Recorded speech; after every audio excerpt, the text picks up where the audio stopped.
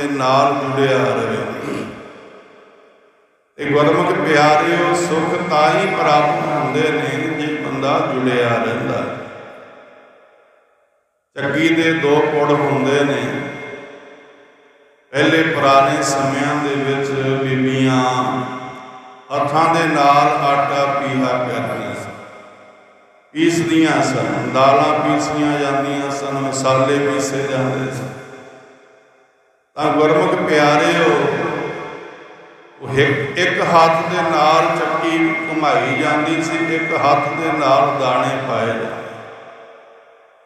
ਇੱਕ ਹੱਥ ਨਾਲ ਚੱਕੀ ਨੂੰ ਗੇੜਿਆ ਜਾਂਦਾ ਸੀ ਤੇ ਇੱਕ ਹੱਥ ਦੇ ਨਾਲ ਗੁਰਮੁਖ ਪਿਆਰੇ ਦਾਣੇ ਪਾਏ ਜਾਂਦੇ ਸੀ। ਉਹ ਜਿਹੜੇ ਦਾਣੇ ਨੇ, ਜਿਹੜੇ ਤਾਂ ਕੂੜਾ ਦੇ ਵਿਚਾਲੇ ਆ ਗਏ, ਦਲੀਆ ਮੈਦਾ, ਆਟਾ, ਬੜੀਆਂ ਚੀਜ਼ਾਂ ਉਹਦੀਆਂ ਬਣ ਜਾਂਦੀਆਂ। ਤੇ ਜਿਹੜੇ ਸਿਆਣੇ ਕਹਿੰਦੇ ਨੇ, ਕਿੱਲੀ ਦੇ ਨਾਲ ਲੱਗੇ ਰਹਿ ਗਏ ਨਾਲ ਧੁਰਦੇ ਉਹ ਬਚ ਜਾਂਦੇ ਆ। ਤੇ ਸਤਿਗੁਰ ਜੀ ਕਲਯੁਗ ਦੇ ਵਿੱਚ ਬਚਨ ਕਰਦੇ ਨੇ ਕਲ ਤਾਤੀ ਠੰਡਾ ਹਰ ਨਾਮ ਕਹਿੰਦੇ ਨੇ, ਤੱਤੀ ਕਿਹੜੀ ਹੈ? ਕਲਯੁਗ ਦੀ ਹਵਾ। ਜਿਹੜਾ ਕਲਯੁਗ ਹੈ ਨਾ ਇਹ ਗੁਰਮੁਖ ਪਿਆਰਿਓ, ਤੱਤੀਆਂ ਹਵਾਵਾਂ ਵਾਲਾ ਠੰਡਾ ਕੀ ਹੈ? ਪਰਮੇਸ਼ਰ ਦਾ ਨਾਮ।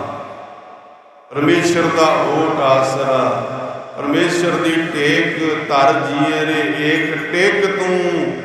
ਲਾਹੇ ਵਡਾਨੀ ਆਸ, ਨਾਨਕ ਨਾਮ ਧਿਆਈਐ, ਕਾਰਜ ਆਵੇ ਰਾਸ। ਜੇ ਨਾਮ ਨੂੰ ਧਿਆਵਾਂਗੇ ਔਰ ਨਾਮ ਦੇ ਸਨਮੁਖ ਹੋ ਕੇ, ਗੁਰੂ ਦੇ ਸਨਮੁਖ ਹੋ ਕਰਕੇ ਬੇਨਤੀ ਕਰਾਂਗੇ ਮਹਾਰਾਜ, ਦੋਏ ਕਰ ਜੋੜ ਕਰੋ ਅਰਦਾਸ। ਤੁਧ ਭਾਵੈ ਤਾਂ ਆਣੇ ਰਾਸ। ਮਹਾਰਾਜ, ਮੇਰੇ ਦੋਨੇ ਹੱਥ, ਤੇਰੇ ਚਰਨਾਂ ਦੇ ਵਿੱਚ ਮੇਰੀ ਬੇਨਤੀ ਹੈ, ਮੇਰੀ ਅਰਦਾਸ ਹੈ। ਮੇਰੇ ਕਾਰਜ, ਮੈਨੂੰ ਸੁਖ, ਸ਼ਾਂਤੀ ਇਹਨਾਂ ਚੀਜ਼ਾਂ ਤੋਂ ਮੈਨੂੰ ਬਚਾ। ਕਿਉਂਕਿ ਜਿਹੜਾ ਕਲਯੁਗ ਹੈ, ਸਾਨੂੰ ਚੰਗੇ ਪਾਸੇ ਲੱਗਣ ਨਹੀਂ ਦਿੰਦਾ। ਕਿਉਂਕਿ ਕਲਯੁਗ ਦੀ ਉਮਰ ਜਿਹੜੀ ਹੈ 4 ਲੱਖ 32 ਹਜ਼ਾਰ ਸਾਲ ਹੈ। ਤੇ ਕਲਯੁਗ ਦੇ ਵਿੱਚ ਕੇਵਲ ਤੇ ਕੇਵਲ ਨਾਮ ਹੀ ਬੰਦੇ ਦਾ ਆਸਰਾ ਹੈ। ਹੋਰ ਕੋਈ ਵੀ ਚੀਜ਼ ਗੁਰਮੁਖ ਪਿਆਰੇ ਇਹਦੀ ਨਾਲ ਸਹਾਇਤਾ ਨਹੀਂ ਕਰਦੀ। ਸਤਿਗੁਰ ਜੀ ਕਿਉਂ ਸਮਝਾਉਣ ਦਾ ਯਤਨ ਕਰਦੇ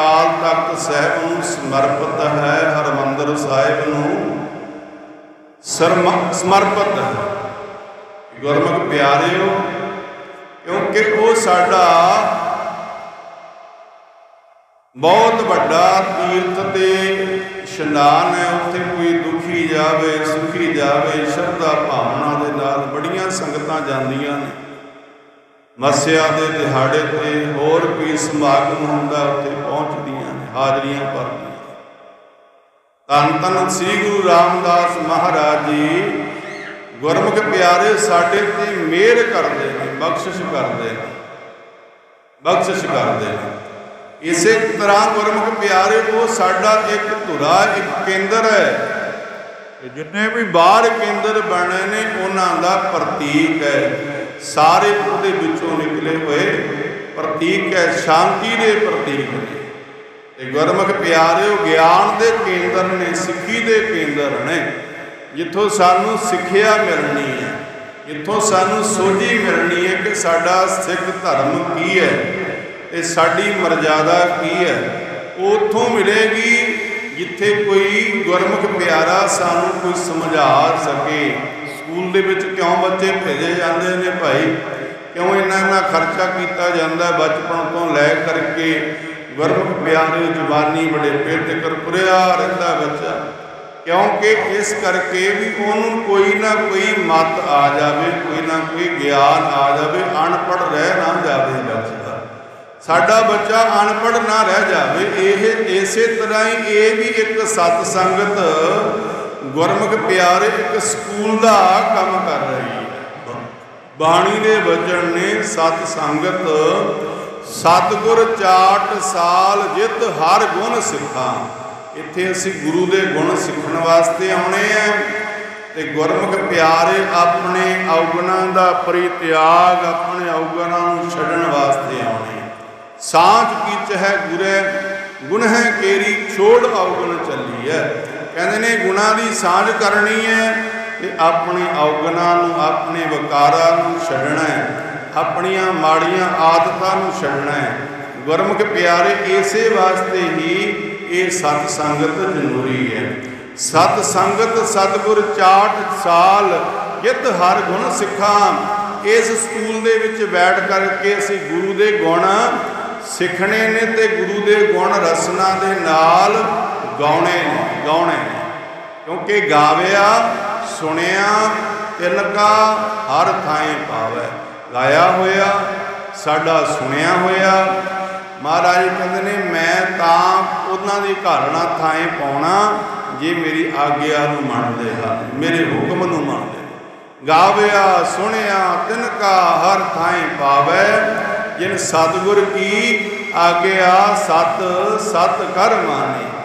ਮਾਨੀ ਗੁਰਮੁਖ ਪਿਆਰੇ, ਜਿਨ੍ਹਾਂ ਨੇ ਗੁਰੂ ਦੀ ਆਗਿਆ ਨੂੰ ਸਤ ਕਰਕੇ ਮੰਨ ਲਿਆ ਕੋਈ ਇਹਨੂੰ ਗਾ ਰਿਹਾ ਕੋਈ ਸੁਣ ਰਿਹਾ ਗਾਉਣ ਦੇ ਨਾਲ, ਸੁਣਨ ਦੇ ਨਾਲ ਸਾਡੇ ਮਨ ਦੇ ਵਿੱਚ ਸ਼ੁੱਧੀ ਆਉਂਦੀ ਹੈ ਤੇ ਸਤਿਗੁਰੂ ਜੀ ਇਉਂ ਸਮਝਾਉਣ ਦਾ ਯਤਨ ਕਰਦੇ ਨੇ, ਜੇ ਕੋਈ ਇਸ ਬਾਣੀ ਨੂੰ ਗਾ ਲਵੇ, ਤਾਂ ਵੀ ਉਹਨਾਂ ਫਲ ਹੈ। ਜੇ ਕੋਈ ਸੁਣ ਲਵੇ, ਤਾਂ ਵੀ ਉਹਦਾ ਫਲ ਬਰਾਬਰ ਹੈ। ਸਤਿਗੁਰੂ ਜੀ ਕਿਉਂ ਸਮਝਾਉਂਦੇ ਨੇ। ਕੋਈ ਗਾਉਂਦਾ ਹੈ ਤੇ ਕੋਈ ਕੋਈ ਸੁਣਦਾ ਨਹੀਂ। ਇਸ ਲਾ ਕੇ I'm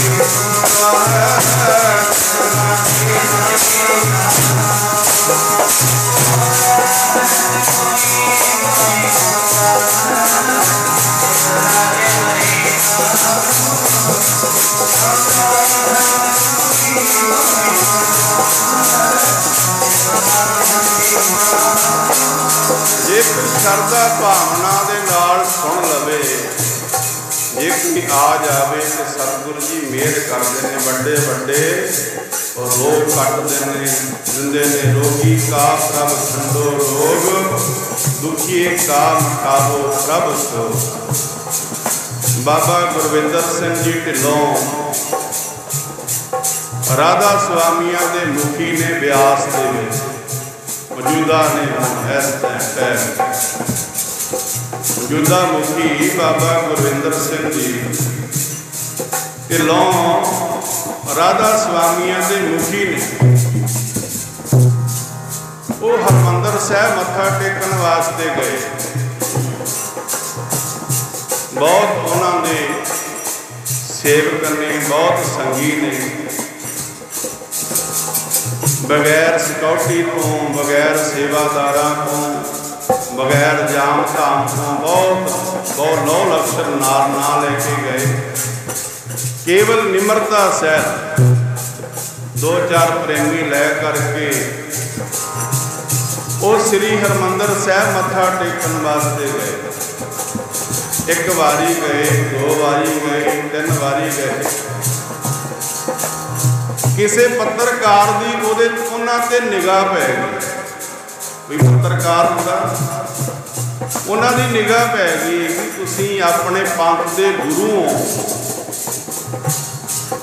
ਤੁਸੀਂ ਗੁਰੂ ਗ੍ਰੰਥ ਸਾਹਿਬ ਮਹਾਰਾਜ ਦੀ ਹਜ਼ੂਰੀ ਦੇ ਵਿੱਚ ਕਿਉਂ ਆ ਰਹੇ? ਵੱਡਾ ਕਾਰਨ ਕੀ ਹੈ ਆਉਂਦਾ ਉਹਨਾਂ ਨੂੰ ਸਵਾਲ ਕੀਤਾ ਪੱਤਰਕਾਰ ਨੇ। ਕਿਉਂਕਿ ਪੱਤਰਕਾਰਾਂ ਦਾ ਕੰਮ ਹੁੰਦਾ ਵੀ ਸੱਚ ਨੂੰ ਪ੍ਰਗਟ ਕਰਨਾ, ਸਾਹਮਣੇ ਲਿਆਉਣਾ। ਤੇ ਗੁਰਮੁਖ ਪਿਆਰਿਓ,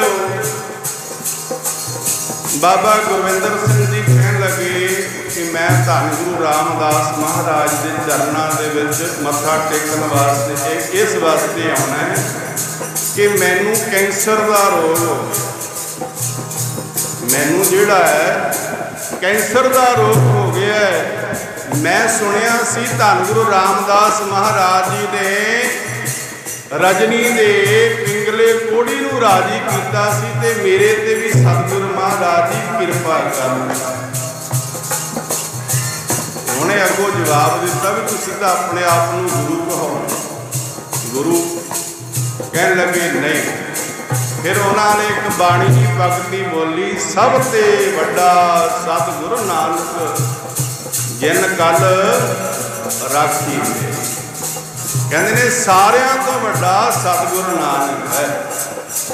ਉਹਦੇ ਤੋਂ ਉੱਚਾ ਕੋਈ ਵੀ ਨਹੀਂ। ਮੈਂ ਵੀ ਮੈਂ ਵੀ ਉਹਦਾ ਦਾਸ ਹਾਂ, ਮੈਂ ਵੀ ਉਹਦਾ ਸਿੱਖ ਹਾਂ, ਮੈਂ ਵੀ ਉਹਦਾ ਸੇਵਕ ਹਾਂ। ਨਾ ਕੋਈ ਬਾਣੀ ਤੋਂ ਉੱਚਾ ਨਾ ਦਸ ਗੁਰੂ ਸਾਹਿਬਾਂ ਤੋਂ ਉੱਚਾ ਹੈ ਕਹਿਣ ਲੱਗਾ, ਮੈਂ ਵੀ ਉਹਨਾਂ ਦੀ ਸ਼ਰਨ ਦੇ ਵਿੱਚ ਆਇਆ ਕਿਉਂ? ਕਿ ਮੈਨੂੰ ਕੈਂਸਰ ਦਾ ਰੋਗ ਹੋ ਗਿਆ। ਗੁਰਮੁਖ ਪਿਆਰਿਓ, ਉਹਨਾਂ ਦੇ ਆਪਣੇ ਬਚਨ ਨੇ ਤੇ ਕਹਿੰਦੇ ਨੇ, ਸਭ ਤੇ ਵੱਡਾ ਸਤਿਗੁਰੂ ਨਾਨਕ, ਜਿਨ ਕਲ ਰਾਖੀ ਮੇਰੀ, ਕਹਿੰਦੇ ਨੇ, ਸਭ ਤੋਂ ਵੱਡਾ ਗੁਰੂ ਨਾਨਕ ਹੈ। 10 ਪਾਤਸ਼ਾਹੀਆਂ ਹਨ, ਧੰਨ ਸ੍ਰੀ ਗੁਰੂ ਗ੍ਰੰਥ ਸਾਹਿਬ ਮਹਾਰਾਜ ਜੀ ਹੈ। ਲੱਗੀ, ਸਾਡੀ ਡਿਊਟੀ ਲੱਗੀ ਇੱਕ ਸੰਸਥਾ ਨੂੰ ਚਲਾਉਣ ਅਸੀਂ ਇੱਕ ਸੇਵਾਦਾਰ ਆਮ, ਤੁਸੀਂ ਜਾਓ ਇਹਨਾਂ ਦੇ ਡੇਰਿਆਂ ਦੇ ਵਿੱਚ, ਇਹ ਆਪਣੇ ਆਪ ਨੂੰ ਕਹਿੰਦੇ ਨੇ ਦਾਸ ਇਹਨਾਂ ਦੇ ਜਿਹੜੇ ਅੱਗੇ ਮੁਖੀ ਹੁੰਦੇ ਨੇ ਨਾ ਛੋਟੇ ਛੋਟੇ, ਕਹਿੰਦੇ ਨੇ ਭੰਗੀ ਦਾਸ। ਭੰਗੀ ਦਾਸ ਕਹਿੰਦੇ ਨੇ ਆਪਣੇ ਆਪ ਇਹਨਾਂ ਨੀਵਾ ਆਪਣੇ ਆਪ। ਇਸ ਕਰਕੇ ਵੀ ਮੈਂ ਸੀ ਭੰਗੀ ਦਾਸ ਨੇ ਇਸ ਦਰ ਦੇ। ਤੇ ਸਤਿਗੁਰ ਜੀ ਕਹਿਣ ਲੱਗੇ ਵੀ ਮੇਰੇ ਇੱਥੇ ਆਉਣ ਦੇ ਨਾਲ, ਨਮਸਕਾਰ ਕਰਨ ਦੇ ਨਾਲ, ਮੱਥਾ ਟੇਕਣ ਦੇ ਨਾਲ ਮੇਰਾ ਜਿਹੜਾ ਕੈਂਸਰ ਦਾ ਰੋਗ ਕੱਟਿਆ ਗਿਆ। ਐਡਾ ਵੱਡਾ ਮਨੁੱਖ, ਐਡੀ ਵੱਡੀ ਉਹਦੀ ਪ੍ਰਭਤਾ ਐਨੇ ਲੋਕ ਉਹਨਾਂ ਨੂੰ ਪੂਜਣ ਵਾਲੇ, ਐਨੇ ਲੋਕ ਉਹਨਾਂ ਨੂੰ ਮੰਨਣ ਵਾਲੇ, ਐਨੇ ਲੋਕ ਉਹਨਾਂ ਦੇ ਬਚਨਾਂ ਨੂੰ ਸੁਣਨ ਵਾਲੇ, ਤੇ ਉਹ ਗੁਰੂ ਗ੍ਰੰਥ ਸਾਹਿਬ ਮਹਾਰਾਜ ਦੀ ਪਾਵਨ ਪਵਿੱਤਰ ਹਜ਼ੂਰੀ ਹੈ। ਗੁਰੂ ਗ੍ਰੰਥ ਸਾਹਿਬ ਕਿਸੇ ਦਾ ਨਹੀਂ ਹੈ। ਨਾ ਇਹ ਕਾਲੀਆਂ ਦਾ ਹੈ, ਨਾ ਇਹ ਨਾਨਕ ਸਰੀਆਂ ਦਾ ਹੈ, ਨਾ ਇਹ ਟਕਸਾਲੀਆਂ ਦਾ ਹੈ, ਨਾ ਗੁਰਮੁਖ ਪਿਆਰੇ ਕਮੇਟੀਆਂ ਦਾ ਤਾਂ ਸਭ ਦਾ ਸਾਂਝ ਸਭੇ ਸਾਂਝੀ ਵਾਲ ਸੁਦਾਇਰ ਕੋਈ ਨਾ ਦਿਸਿਆ ਬਾਹਰਾ ਜੀਓ, ਕੋਈ ਵੀ ਆ ਜਾਵੇ। ਇਹਦੇ ਕੋਲੇ ਕੋਈ ਵੀ ਆ ਗੁਰਮੁਖ ਪਿਆਰੇ ਗੱਲ ਦੇ ਵਿੱਚ ਭਾਵਨਾ ਹੋਣੀ ਚਾਹੀਦੀ ਹੈ। ਫਲ ਭਾਵਨਾ ਨੂੰ ਲੱਗਦਾ ਹੈ। ਫਲ ਸ਼ਰਧਾ ਨੂੰ ਲੱਗਦਾ ਹੈ ਤੇ ਸਤਿਗੁਰੂ ਜੀ ਸਮਝਾਉਣ ਦਾ ਯਤਨ ਕਰਦੇ ਨੇ। ਬਿਨਾ ਸ਼ਰਧਾ ਤੋਂ ਕਦੇ ਨਾ ਕੁਝ ਮਿਲਦਾ ਜੀ। ਲੱਖਾਂ ਭਾਵੇਂ ਗੇੜੇ ਮਾਰੀਏ।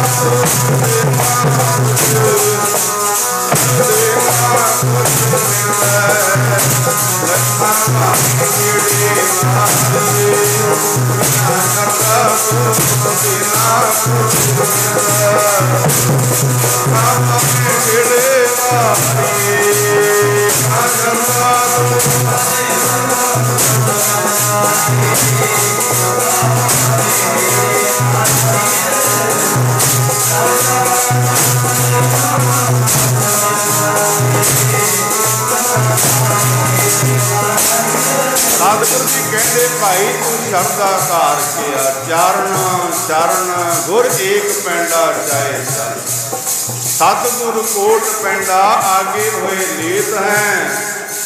ਕਹਿੰਦੇ ਨੇ, ਇੱਕ ਕਦਮ ਗੁਰੂ ਵਾਲੇ ਪਾਸੇ ਫੁੱਟ ਭਾਵਨਾ ਹੋਵੇ, ਸ਼ਰਧਾ ਹੋਵੇ, ਬਾਬਾ ਗੁਰਵਿੰਦਰ ਸਿੰਘ ਜੀ ਕਹਿਣ ਲੱਗੇ ਵੀ ਮੈਂ ਤਾਂ ਸ਼ਰਧਾ ਦੇ ਨਾਲ ਆਇਆ। ਮੈਂ ਤਾਂ ਆਪਣੇ ਦੁੱਖ ਗੁਰੂ ਦੇ ਕੋਲੇ ਲੈ ਕੇ ਆਇਆ। ਬਾਣੀ ਗੁਰੂ ਗੁਰੂ ਹੈ ਬਾਣੀ। ਵਿੱਚ ਬਾਣੀ ਅੰਮ੍ਰਿਤ ਸਾਰੇ ਗੁਰਬਾਣੀ ਕਹੈ, ਸੇਵਕ ਜਨ ਮਾਨੈ, ਪ੍ਰਤੱਖ ਗੁਰੂ ਵਿਸਤਾਰੇ, ਗੁਰੂਆਂ ਦੇ ਗੁਰੂ ਗੁਰੂ ਗ੍ਰੰਥ ਸਾਹਿਬ ਮਹਾਰਾਜ ਜੀ ਦਾ। ਗੁਰੂਆਂ ਦੇ ਗੁਰੂ ਗੁਰੂ ਗ੍ਰੰਥ ਸਾਹਿਬ ਮਹਾਰਾਜ ਜੀ ਹਨ ਤੇ ਗੁਰਮੁਖ ਪਿਆਰੇ ਫਿਰ ਕੀ ਹੋਇਆ। ਸਤਿਗੁਰੂ ਜੀ ਕਹਿੰਦੇ ਨੇ ਇਹ ਗੁਰੂ ਦੇ ਉੱਤੇ ਪ੍ਰਤੀਤ ਨਹੀਂ, ਸਤਿਗੁਰ ਕੀ ਪ੍ਰਤੀਤ ਨਿਆਈਆ, ਸ਼ਬਦ ਲਾਗੋ ਲਾਗਾ ਭਾਓ। ਉਸ ਨੂੰ ਸੁਖ ਨਾ ਉਪਜੈ ਭਾਈ, ਭਾਵੇਂ ਸੌ ਗੇੜਾ ਆਹੋ ਲਾਓ। ਕਹਿੰਦੇ ਨੇ, ਜੇ ਗੁਰੂ ਤੇ ਪ੍ਰਤੀਤ ਨਹੀਂ ਹੈ, ਜੇ ਭਰੋਸਾ ਨਹੀਂ ਹੈ, ਜੇ ਵਿਸ਼ਵਾਸ ਨਹੀਂ ਹੈ, ਤੇ ਮਹਾਰਾਜ ਕਹਿੰਦੇ ਨੇ, ਭਾਵੇਂ 100 ਗੇੜਾ ਮਾਰਦੇ ਮੰਦਰ ਦਾ ਕੋਈ 100 ਗੇੜਾ ਮਾਰਦੇ ਮਸੀਤ ਦਾ, ਗੁਰੂ ਘਰ ਦਾ, ਗੁਰਮੁਖ ਪਿਆਰੇ ਹੋ ਜਿੱਥੇ ਮਰਜ਼ੀ ਕੋਈ ਕਿਰਿਆ ਕਰੇ ਪਰ ਭਾਵਨਾ ਤੋਂ ਬਗੈਰ ਉਹਦਾ ਕਾਰਜ ਰਾਸ ਨਹੀਂ ਹੋਣਾ। ਇਸ ਕਰਕੇ ਸਤਿਗੁਰੂ ਜੀ ਕਹਿੰਦੇ, ਭਾਵਨਾ ਹੋਣੀ ਚਾਹੀਦੀ ਹੈ। ਰਹੋ ਵਿਚਾਰ। ਕੋਈ ਬੀਬੀ ਸੀ ਸਤ ਸੰਗਤ ਚੱਲਦਾ।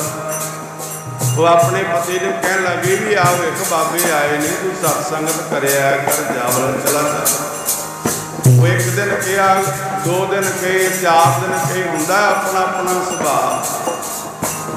ਗੁਰਮੁਖ ਪਿਆਰਿਓ, ਆਪਣਾ ਆਪਣਾ ਸੁਭਾਅ ਹੁੰਦਾ ਹੈ। ਉਹਨੇ ਇੱਕ ਦੋ ਦਿਨ ਕਹਿੰਦੀ ਨਹੀਂ ਕਹਿੰਦੀ ਨਹੀਂ ਪਰ ਆਖਰ ਇੱਕ ਦਿਨ ਉਹ ਕਹਿਣ ਲੱਗਿਆ ਵੀ ਮੈਂ ਰੋਟੀ ਵੀ ਖਾਣੀ ਹੈ, ਦੇਖੋ।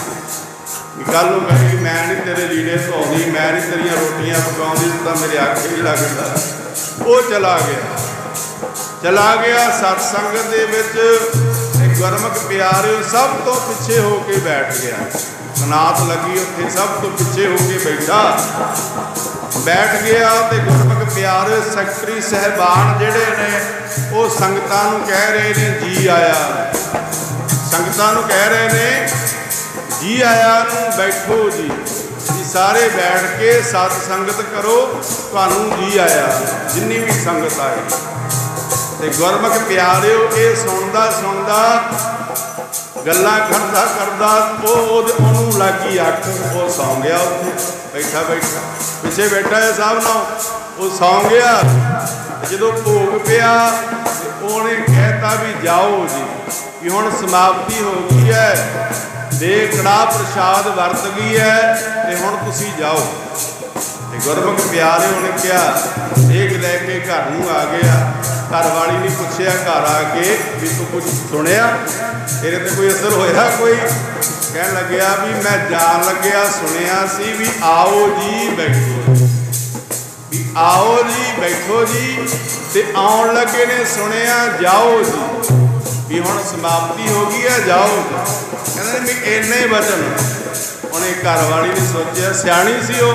ਵੀ ਚੱਲ ਇੰਨਾ ਤਾਂ ਸੁਣ ਕੇ ਆਇਆ, ਕੰਨਾਂ ਦੇ ਵਿੱਚ ਕੋਈ ਚੱਜ ਦੀ ਗੱਲ ਪਈ ਇਹਨੇ ਹੈ? ਕਹਿੰਦੇ ਵੀ ਤੂੰ ਇਹਦਾ ਹੀ ਮੰਤਰ ਜਾਪ ਜਾਪ ਕਰੀ ਜਾਈ। ਆਓ ਜੀ, ਬੈਠੋ ਜੀ, ਜਾਓ। ਇਹਦਾ ਹੀ ਸਿਮਰਨ ਕਰੀ ਜਾਈ। ਕਹਿੰਦੇ ਵੀ ਇਹ ਤੇਰਾ ਮੰਤਰ ਹੈ। ਤੇ ਗੁਰਮੁਖ ਪਿਆਰੇ ਕੀ ਹੋਇਆ? ਮੈਂ ਰਾਤ ਰਹਿੰਦੀ, ਉਹ ਬੈਠਾ, ਉਹਦਾ ਹੀ ਸਿਮਰਨ ਕਰੀ ਜਾਂਦਾ, ਆਓ ਜੀ, ਬੈਠੋ ਜੀ, ਜਾਓ ਜੀ। ਗੁਰਮੁਖ ਪਿਆਰੇ ਘਰ ਦੇ ਵਿੱਚ ਚੋਰ ਆ ਗਏ। ਚੋਰ ਜਦੋਂ ਕੰਧ ਟੁੱਪੇ ਤੇ ਖੜਕਾ ਹੋਇਆ, ਕਹਿੰਦੇ ਨੇ, ਆਓ ਜੀ। ਚੋਰਾਂ ਨੂੰ ਕਹਿੰਦਾ ਵੀ, ਆਓ ਜੀ। ਚੋਰ ਕਹਿੰਦੇ, ਇਹ ਤਾਂ ਬੰਦਾ ਜਾਗਦਾ ਪਿਆ। ਇਹ ਕਹਿੰਦੇ ਨੇ, ਆਓ ਜੀ, ਬੈਠੋ ਜੀ। ਤੋ ਇੰਨੀ ਗੱਲ ਕਹੀ ਵੀ, ਬੈਠੋ, ਆਓ ਜੀ, ਬੈਠੋ ਜੀ। ਉਹ ਕਹਿੰਦਾ ਵੀ, ਬੰਦਾ ਜਾਗਦਾ ਵੀ, ਚੋਰੀ ਆਪਣੇ ਕੋਲੋਂ ਹੋਣੀ ਨਹੀਂ। ਕਹਿੰਦੇ ਥੋੜੇ ਚਿਰ ਬਾਅਦ ਉਹਨਾਂ ਨੇ ਦੇਖਿਆ ਵੀ ਬੰਦਾ ਜਾਗਦਾ ਛਾਲ ਮਾਰੀ ਤੇ ਕੰਧ ਪਾਰ ਵਾਪਸ ਮੁੜ ਕੇ ਕੋਈ ਚੋਰੀ ਚਾਰੀ ਕੋਈ ਚੋਰੀ ਕਰ ਨਾ ਸਕੇ, ਬੰਦਾ ਜਾਗਦਾ ਬੈਠਾ ਕਹਿੰਦੇ ਨੇ ਉਹਨੇ ਕਿਹਾ ਵੀ ਜਾਓ ਆਓ ਜੀ, ਬੈਠੋ ਜੀ, ਜਾਓ ਚਲੇ ਗਏ। ਫੇਰ ਨੂੰ ਰੌਲਾ ਪੈ ਗਿਆ ਗਲੀ ਦੇ ਵਿੱਚ ਲੋਕਾਂ ਦਾ। ਫੇਰ ਨੂੰ ਰੌਲਾ ਪੈ ਗਿਆ ਵੀ ਫਲਾਣੇ ਘਰੇ ਚੋਰ ਪਏ ਸੀ, ਦੇਖੀਏ। ਕੋਈ ਸਮਾਨ ਤਾਂ ਨਹੀਂ ਚੁਰਾ ਕੇ ਲੈ ਗਏ। ਕਹਿਣ ਲੱਗਿਆ ਵੀ ਮੈਂ ਮੰਜੇ ਤੇ ਬੈਠਾ ਸੀ, ਮੈਂ ਆਪਣਾ ਸਿਮਰਨ ਕਰ ਰਿਹਾ ਸੀ। ਆਓ ਜੀ, ਬੈਠੋ ਜੀ, ਜਾਓ ਜੀ, ਮੈਨੂੰ ਨਹੀਂ ਪਤਾ ਵੀ ਕੌਣ ਆਇਆ, ਕੌਣ ਗਿਆ? ਮੈਨੂੰ ਨਹੀਂ ਪਤਾ ਵੀ ਕੌਣ ਆਇਆ, ਕੌਣ ਗਿਆ? ਕਹਿੰਦੇ ਨੇ, ਉਹ ਕਹਿੰਦੇ ਵੀ ਚੋਰੀ ਨਹੀਂ ਹੋਈ, ਕਹਿੰਦੇ ਸਾਡੇ ਤਾਂ ਕੋਈ ਕੱਖ ਨਹੀਂ, ਕਿਸੇ ਨੇ ਹਲਾਇਆ, ਛੇੜਿਆ ਹੀ ਨਹੀਂ ਕਿਸੇ ਨੇ। ਕਿਸੇ ਨੇ ਕੁਝ ਕਿਹਾ ਹੀ ਨਹੀਂ। ਗੁਰਮੁਖ ਪਿਆਰਿਓ, ਕਹਿਣ ਦਾ ਭਾਵ, ਜੇ ਬੰਦਾ ਗੁਰੂ ਦਾ ਮੰਤਰ ਦਾ ਜਾਪ ਕਰਨ ਲੱਗ ਜਾਵੇ ਤੇ ਜਿਹੜੇ ਸਾਡੇ ਅੰਦਰ ਪੰਜ ਚੋਰ ਨੇ ਨਾ, ਪੰਜ ਚੋਰ, ਇਸ ਦੇਹੀ ਅੰਦਰ ਪੰਜ ਚੋਰ ਵਸੈ ਪੰਜ ਚੋਰ ਇਹਦੇ ਅੰਦਰ ਨੇ। ਕਾਮ ਹੈ, ਕ੍ਰੋਧ ਹੈ, ਲੋਭ ਹੈ, ਮੋਹ ਹੈ, ਹੰਕਾਰ ਹੈ। ਕਹਿੰਦੇ ਨੇ, ਜੇ ਇਹਦਾ ਆਓ ਜੀ, ਜਾਓ ਜੀ, ਬੈਠੋ ਜੀ। ਗੁਰਮੁਖ ਤਿਆਰ ਇੱਕ ਦਿਨ ਇਸ ਦੇਹੀ ਨੂੰ ਉਹ ਵੀ ਛੱਡ ਕੇ ਪਾਸੇ ਹੋ ਜਾਂਦੇ ਨੇ ਪਾਸੇ ਹੋ ਜਾਣ ਜੇ ਸੱਚ ਦਾ ਸਿਮਰਨ ਕਰਨ ਲੱਗ ਜਾਵੇ। ਕਹਿਣ ਲੱਗੇ ਸਾਡੇ ਘਰੇ ਚੋਰੀ ਨਹੀਂ ਹੋਈ, ਸਾਡਾ ਘਰੇ ਕੋਈ ਡਾਕਾ ਨਹੀਂ ਪਿਆ। ਕਹਿਣ ਲੱਗੇ ਕਿਉਂ ਨਹੀਂ ਪਿਆ? ਕਹਿੰਦੇ ਨੇ, ਆ ਮੰਤਰ ਦਾ ਜਾਪ ਕਰਦਾ। ਆ ਮੰਤਰ ਦਾ ਜਾਪ ਕਰਦਾ ਸੀ, ਕਹਿੰਦੇ ਮੰਤਰ ਉਹਦਾ ਕੰਮ ਕਰ ਗਿਆ। ਮੰਤਰ ਜਿਹੜਾ ਹੈ, ਉਹਦਾ ਕੰਮ ਕਰ ਗਿਆ ਭਾਵ ਕਿ ਚੋਰੀ ਨਾ ਹੋ ਸਕੀ। ਕਿਉਂਕਿ ਉਹ ਜਾਗਦਾ, ਦੇਖਦਾ ਪਿਆ ਸਭ ਉਹਨੇ ਕਿਹਾ, ਆਓ ਜੀ, ਬੈਠੋ ਜੀ। ਜਦੋਂ ਜਾਣ ਲੱਗੇ, ਜਾਓ ਮਾਫੀ ਹੋ ਗਈ ਸੁਣ ਕੇ ਆਇਆ ਸੀ ਸੰਗਤ ਦੇ ਵਿੱਚੋਂ। ਇੰਨੇ ਹੀ ਤਿੰਨ ਚਾਰ ਬਚਨ ਬਸ। ਤੇ ਬਾਣੀ ਕਹਿੰਦੀ ਹੈ, ਸਤਿਗੁਰ ਕਾ ਗੁਰਮੁਖ ਪਿਆਰੇ, ਜੇ ਕੋਈ ਬਚਨ ਕਮਾਉਂਦਾ ਹੈ, ਤਾਂ ਗੁਰਮੁਖ ਪਿਆਰੇ ਉਹਨਾਂ ਦਾ ਬੇੜਾ ਪਾਰ ਹੁੰਦਾ ਹੈ, ਪਾਰ ਹੁੰਦਾ ਹੈ। ਇਸ ਕਰਕੇ ਗੁਰਮੁਖ ਪਿਆਰੇ ਸਤਿਗੁਰੂ ਜੀ ਸਮਝਾਉਂਦੇ ਨੇ, ਜਿਹੜਾ ਬੰਦਾ ਵੱਡਿਆਂ ਭਾਗਾਂ ਵਾਲਾ ਹੈ, ਉੱਤਮ ਕਰਮ ਕਰਮਾਂ ਵਾਲਾ ਹੈ, ਉਹ ਚੱਲ ਕੇ ਗੁਰੂ ਦੀ ਸੰਗਤ ਦੇ ਵਿੱਚ ਆਉਂਦਾ ਸਾਨੂੰ ਪੈਰ ਲੈ ਕੇ ਆਉਂਦੇ ਨੇ, ਮਨ ਸਾਡਾ ਪੁਰਨਾ ਕਰਦਾ ਹੈ। ਇਹ ਸਾਡੀਆਂ ਮੁੱਢਲੀਆਂ ਗੱਲਾਂ ਨੇ, ਮੁੱਢਲੇ ਵਚਨ ਨੇ। ਗੁਰਮੁਖ ਪਿਆਰੇ, ਇਸ ਜੋ ਸਾਨੂੰ ਇਹ ਚੀਜ਼ਾਂ ਮਿਲਣੀਆਂ ਚਾਹੀਦੀਆਂ, ਸਾਡਾ ਸੁਭਾਅ ਚੰਗਾ ਹੋਣਾ ਚਾਹੀਦਾ। ਇਸ ਕਰਕੇ ਸਤਿਗੁਰੂ ਜੀ ਸਾਨੂੰ ਸਮਝਾਉਂਦੇ ਨੇ ਕਿ ਚਰਨ ਸ਼ਰਨ ਗੁਰ ਏਕ ਪਿੰਡਾ ਜਾਏ ਚੱਲ, ਸਤਿਗੁਰ ਕੋਟ ਪਿੰਡਾ ਆਗੇ ਹੋਏ ਰੇਤ ਹੈ। ਸਤਿਗੁਰੂ ਜੀ ਕਿਉਂ ਸਮਝਾਉਂਦੇ ਨੇ? ਸਤਿਗੁਰੂ ਕੋਟ ਪਿੰਡ ਜਿਹੜਾ ਅਗੋਂ ਲੈਣ ਆਉਂਦੇ ਨੇ ਦੀ ਸਿਖਾ ਤੇਰਾ ਪ੍ਰੇਮ।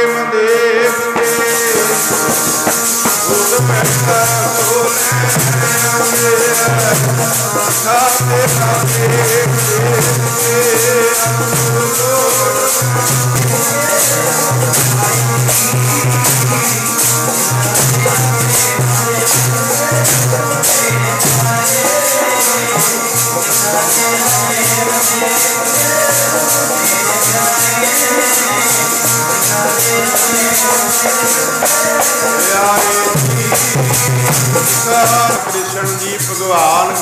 ਪਿਆਰੇ ਉਹਦਾ ਮਿੱਤਰ ਇੱਕ ਸੁਦਾਮਾ। ਬਚਪਨ ਦੇ ਦੋਨੇ ਬੜੇ ਸਾਥੀ ਸਨ। ਇਕੱਠਿਆਂ ਨੇ ਪੜ੍ਹਾਈ ਕੀਤੀ। ਗੁਰਮੁਖ ਪਿਆਰੇ ਇੱਕ ਦਿਨ ਕੀ ਹੋਇਆ? ਆਪਣੇ ਗੁਰੂ ਦੇ ਕੋਲੋਂ ਗੁਰੂ ਨੇ ਕਿਹਾ ਵੀ ਜਾਓ।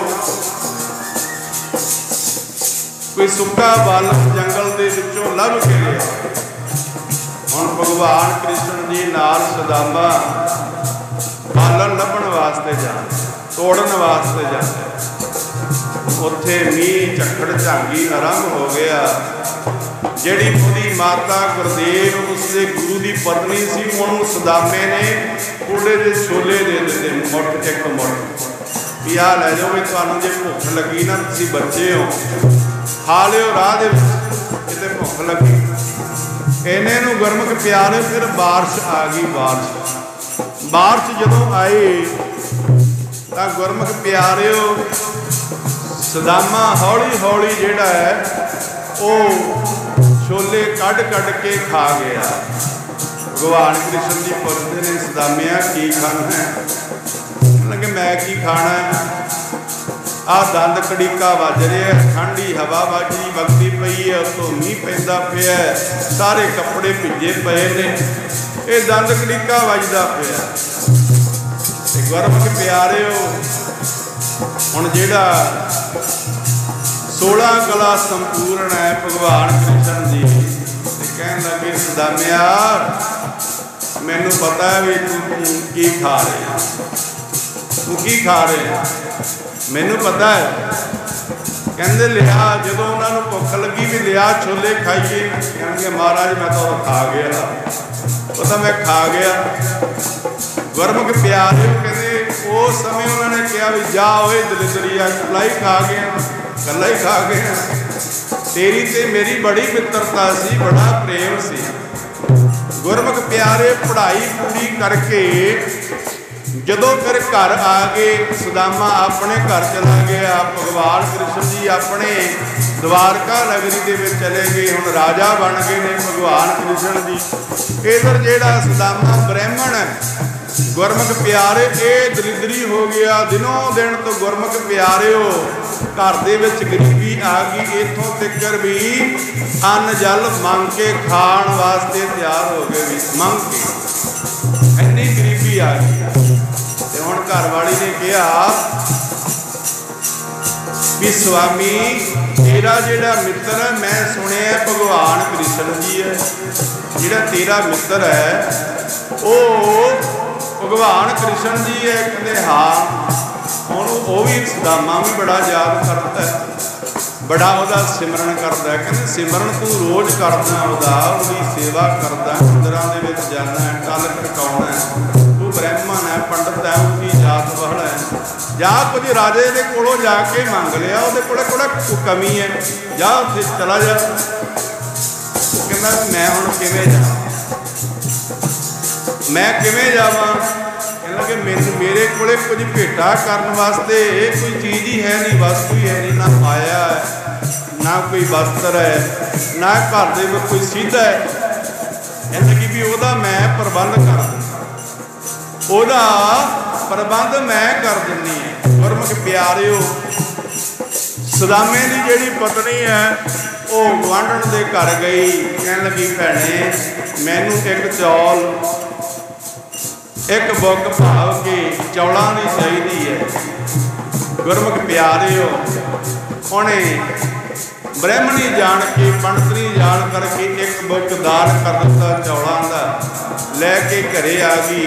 ਸਦਾਮੇ ਦੇ ਲੜ ਬੰਨ ਕਰਕੇ ਗੁਰਮੁਖ ਪਿਆਰਿਓ, ਪਤਨੀ ਨੇ ਸਦਾਮੇ ਨੂੰ ਤੋੜ ਦਿੱਤਾ ਭਗਵਾਨ ਕ੍ਰਿਸ਼ਨ ਵਾਲੇ ਵਾਸਤੇ ਪਾਟੇ ਪੁਰਾਣੇ ਕੱਪੜੇ ਪਾਏ ਹੋਏ ਪੈਰਾਂ ਦੇ ਵਿੱਚ ਗੁਰਮੁਖ ਪਿਆਰੇ ਕੋਈ ਜੋੜਾ ਨਹੀਂ ਹੈ। ਕੁੱਟਿਆ, ਪੁਰਾਣਾ ਜੋੜਾ ਪਾਇਆ ਹੋਇਆ ਤੁਰਿਆ ਜਾ ਰਿਹਾ, ਮਨ ਦੇ ਵਿੱਚ ਸੋਚਦਾ ਜਾ ਰਿਹਾ ਵੀ ਮੈਨੂੰ ਭਗਵਾਨ ਕ੍ਰਿਸ਼ਨ ਪਛਾਣੂਗਾ।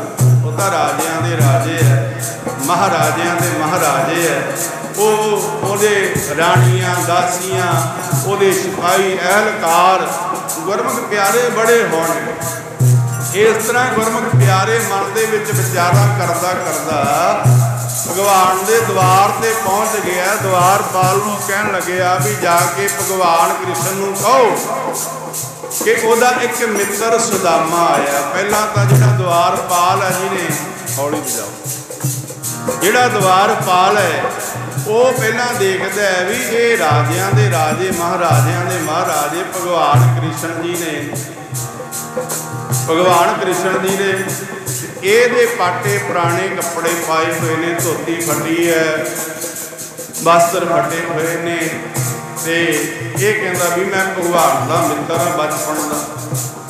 ਤੇ ਗੁਰਮੁਖ ਪਿਆਰਿਓ ਕਹਿਣ ਲੱਗੇ ਵੀ ਤੁਸੀਂ ਮੇਰਾ ਸੁਨੇਹਾ ਦਿਓ। ਦਵਾਰਪਾਲ ਪਹਿਲਾਂ ਸੁਣ ਕਰਕੇ ਅਣਗਹਿਲੀ ਕਰ ਦਿੰਦਾ ਵਾਰ-ਵਾਰ ਉਹਨੂੰ ਬੇਨਤੀ ਕਰਦਾ ਹੈ ਵੀ ਤੂੰ ਜਾ ਕੇ ਮੇਰਾ ਸੁਨੇਹਾ ਦੇ ਦੇ ਇੱਕ ਵਾਰੀ ਮੇਰੀ ਜਾ ਕੇ ਫਰਿਆਦ ਭਗਵਾਨ ਕ੍ਰਿਸ਼ਨ ਨੂੰ ਸੁਣਾ ਦੇ ਸੁਣਾ ਦੇ।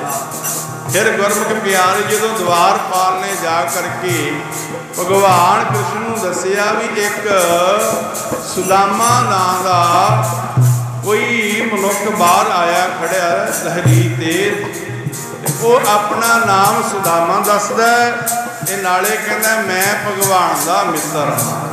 ਬਾਣੀ ਦੇ ਵਚਨ ਨੇ, ਹਰ ਜੀ ਛੱਡ ਸੰਘਾਸਣ ਆਏ।